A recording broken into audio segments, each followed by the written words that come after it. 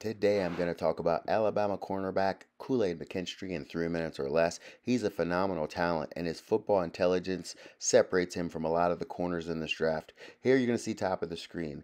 They are running a pick play. This is a pick right here to get the running back free in the flats. But third and five, he's going to come up, make the tackle. You got to kick a field goal. Fantastic job. Here you see the blitzing ability. This is him winning to the outside. And now you're going to see him work between the traffic, and he's going to come up with another big play. Fantastic stuff to have that in the bag. Here, he's going to beat the receiver's block. Now, look at the aggression and the physicality in this tackle. Fantastic stuff by Mr. Kool-Aid McKinstry. Here, top of the screen, he's playing receiver, but they're going to leak someone into the flats. He lets the receiver go, breaks in front of it for the INT. Fantastic job there. Just being a football player and reading. Here, you're going to see again, as soon as he's physical, he always looks. He always looks to see what the quarterback's doing when he's physical. Lets the receiver go, gets the INT. It's something he does regular. This is one of my favorite routes. Okay, this play doesn't even count. There was a penalty, but I'm showing it anyways. Top of the screen, where's the receiver at? If you want to hear the term blanket coverage, that's what you're talking about. That is as blanket as it gets for Kool-Aid.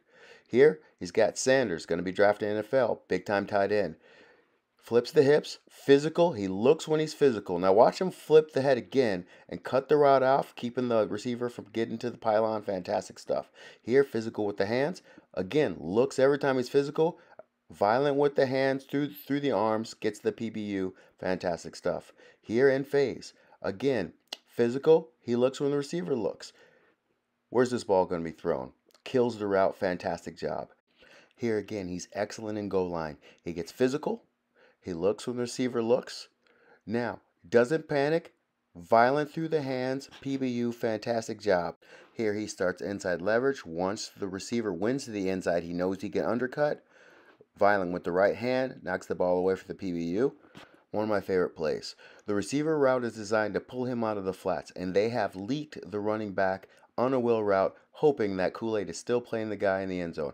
Kool-Aid comes off of him, violent with the hands, causes the PBU. That's just fantastic football intelligence. One more time, similar uh, play. He's got deep thirds.